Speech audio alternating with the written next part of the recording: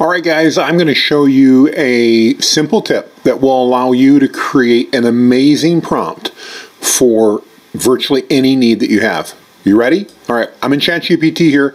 Let's take a quick look. Uh, let's first go ahead and type in our command. So please use and I'll share this code down in the, the uh, comments. This is my perfect prompting framework. Tell ChatGPT what to expect or I'm sorry, what type of expert it should be, give ChatGPT the background, ask it questions, request clarifying information. If you guys want to see that a little bit clearer here, I'll go ahead and do this. This won't hurt one bit. So there it is. And then you're going to say, please use that framework to create a prompt that will accomplish this goal and put in whatever goal you have. So in this case, let's say I want to write uh, a social media post.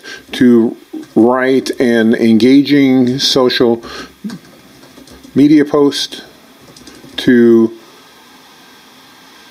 highlight, let's say, uh, to share how to create an amazing prompt in ChatGPT, Claude, or Gemini using the perfect prompting framework.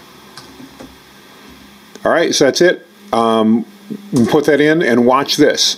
You're now, and can, you can do this in Claude, Gemini, ChatGPT, and here you're going to get the most amazing prompt that will answer that question for you and will solve the problem you're looking to do. You don't not only do you have to not have a list of prompts anymore, you literally can go into any of these tools and put this together. Now, when you're ready, you're going to take this this is just the prompt.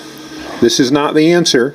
You're going to take that and then you're going to go ahead and get rid of the headings. Super easy. See I'm doing it right here. That's it. And now I'm going to say go. Now I have my prompt. You can see it's going in here and it's writing me that social media post. Had it had questions, it would have asked me some questions. It didn't. That's great. And just like that, I've got an amazing prompt. You can use this to do virtually anything you want. Whether you're creating a chain of prompts or one prompt or anything else, follow this methodology. Use this perfect prompting framework. You'll see it down in the video notes below or the description. I'll put this in. Just literally follow this and you'll be creating the most amazing prompts. For more tips, visit me at jonathanmast.com slash linktree. Thanks guys and make it a great day.